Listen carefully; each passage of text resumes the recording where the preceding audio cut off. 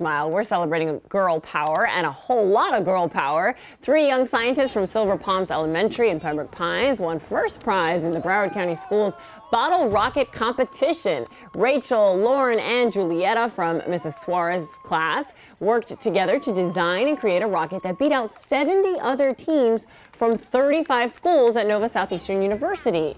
Their beautiful red rocket flew high and straight and took home the top prize.